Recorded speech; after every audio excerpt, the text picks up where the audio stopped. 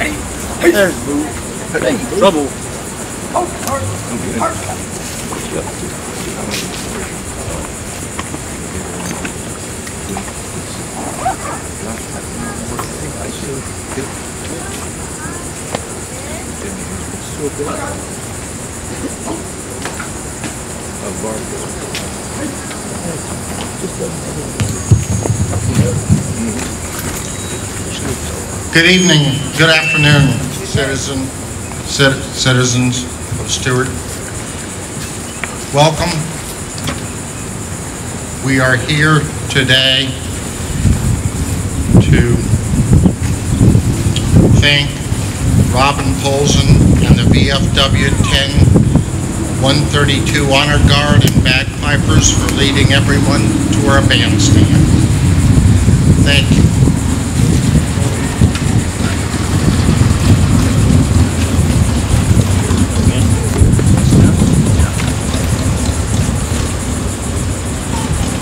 Also thanking the Martin County High School ROTC Color Guard under the direction of Commander DeLeon.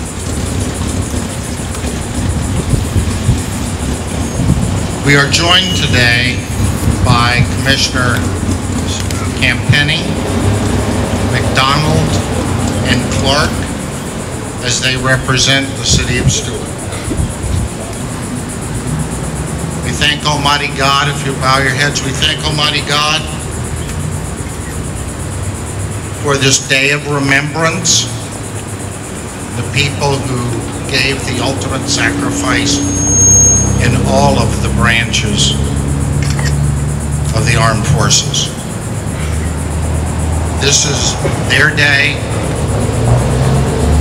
and no civil servant or public official should take away from the foremost remembrance of what they gave. Thank you. But I want you to take a minute, if you can, and look at this bandstand. This is a building, technically, I believe it's a structure, but it, it, it was designed by Peter Jefferson many years ago. It's merely a, a shelter. Today we're here to give it a heart and a heartbeat by honoring someone who also died a result of wounds sustained in battle. Although Mr. Ferguson did not come to Stuart until 1937, he made a great impact by leading the Martin County High School Tigers to their first ever football victory and rival against this football team in Fort Pierce. We are proud that a member of a small community as Stuart participated in the Normandy Beach invasion. Years ago, a community memorial service was held in First Baptist after he succumbed to the wounds of his meritorious service. We thank the family, Fergie Ferguson, for sharing their memories and legacy with the city of Stuart in the memorial that we will dedicate here for that service.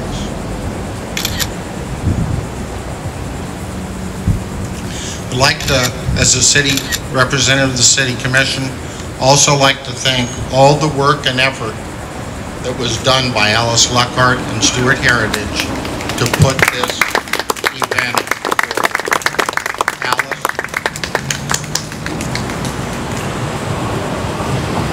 Thank you, Vice Mayor, and everyone who attends tonight. This is a proud moment. I do want to take you back a moment or two in history. I want you to think back. It's England, it's wartime, it's 1943, and the American troops are coming to England to train for what would eventually be known as D-Day. And Fergie is part of that group training. He arrives in December, he's marching with the other soldiers, they're going down the streets of England. He sees that the English are upset, they've been at war for years. And what does he say to help calm the situation? My gosh, he says, Englishmen, have no fear. Fergie Ferguson is here. So in other words, he had it under control. So, and that's the way was his philosophy his whole life. Whether it was on the football field or in sports at the University of Florida or in the battlefield. He took charge and did what needed to be done. Well, in a way, that's what I felt like. I'm not related to the Ferguson family in any form or fashion. I just love the history, any history, whether it's of Stuart, Martin County, Florida, the United States. And when I see something that needs to be done, I'm a little bit like Fergie and I say, let's see if we can get this done. And so having done the study and, and researched about Fergie, finding that there were other monuments to him and, and trophies in other parts of the state of Florida, but not in Stuart or Martin County, there's a wrong. So that's where I made it my mission, talking to who needed to be talked to, did the writing, did what needed to be done to eventually have this bandstand then named in Fergie's honor. And there is a special bronze plaque explaining why Fergie should be remembered. So that is why we're all here today, to make this special effort to thank not only the efforts and the work that Fergie Ferguson did as a sports person and as a war hero. We are here in his memory and will forever remember him because of this bandstand. Now next I'd like to introduce Bob D'Angelo, who will speak to you.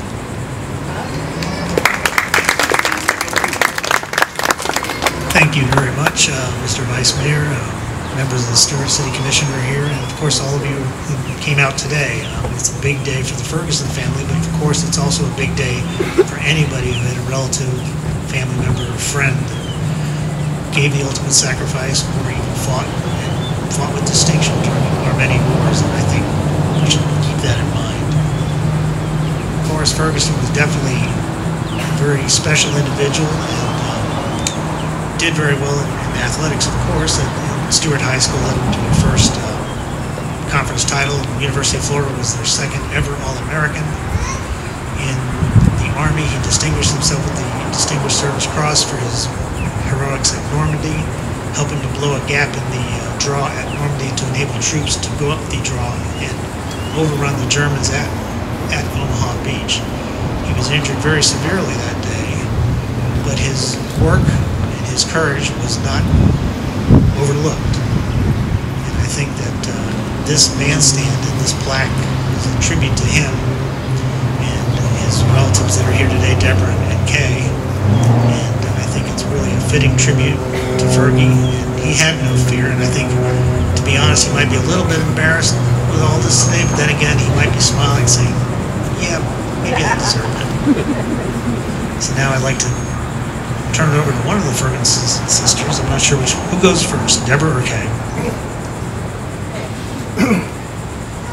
Hello and thank you. Um, We're very proud to be here. Um, Got quite emotional during the parade. It's such joy to ride down the street and see so many in red, white, and blue. Meet all those veterans from all the wars. I was fortunate enough today to meet two, and I got pictures with two World War II veterans. Not many of those guys left around. Great supporter of the honor flights.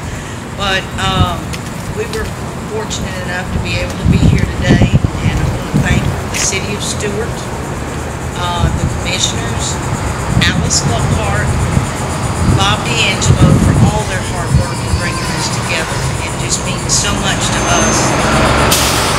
It's not too late. Anything that ever occurs is on time as far as I'm concerned. But memorial to Fergie Ferguson, known to me as Uncle Fergie. Um, I was only about, mm, I think I was about three and a half years old the day of that funeral up at All Saints Cemetery in uh, Jensen. Of course, being Rowdy Ferguson, my mother had to contain us in the car, so we weren't actually graveside. But I'll never forget the sound of the guns. I don't remember much at age three and a half, but I'll never forget the guns, the salute. And that's just something that stayed with me all my life. But um, we're overwhelmed. I mean, I guess words really can't describe what I'm feeling today, but I'd like to thank each and every one of you for coming out, honoring one of the greatest generation, um, and leaving a mark here in Stuart um, for Uncle Forrest. We're just so appreciative. Thank you so much.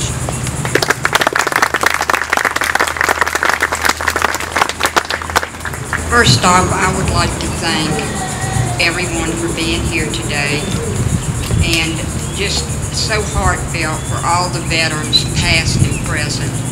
I just have a special place in my heart for them.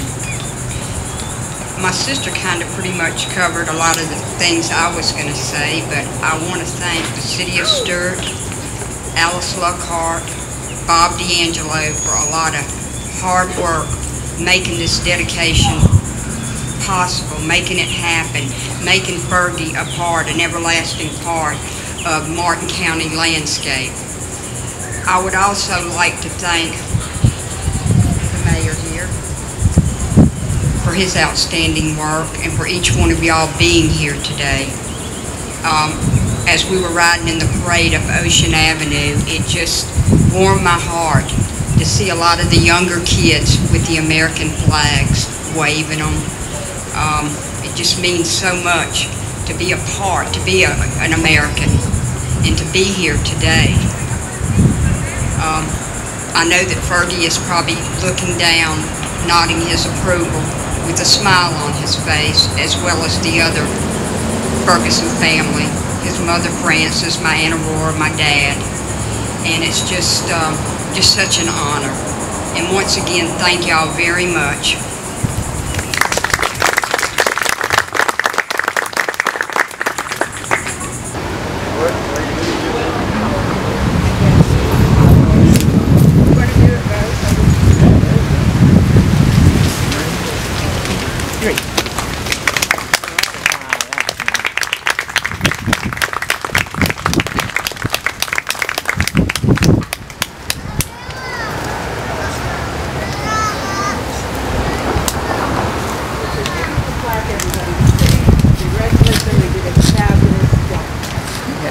Wonderful remembrance. Thank you, thank you all for coming. And if you can't get a copy of the book here, please get one. I'm sure it'll be in Stuart.